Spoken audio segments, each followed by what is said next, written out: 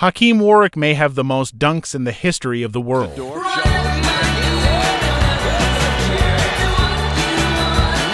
Warrick with a monster jam.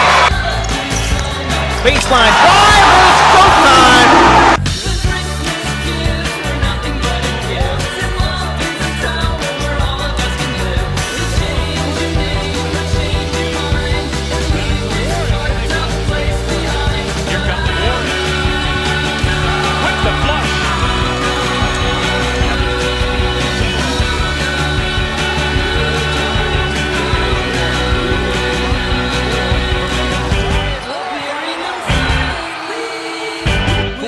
with the